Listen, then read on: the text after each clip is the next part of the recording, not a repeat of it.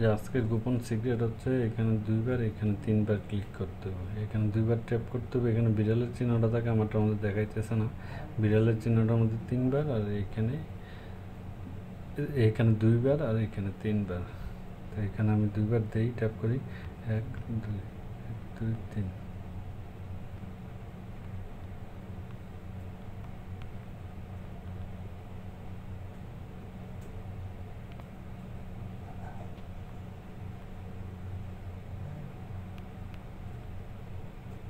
এই যে, চলে এসে ওকে এই যে চলে এসে গিফট বক্স আমি খুলি ওপেন করি এটারে।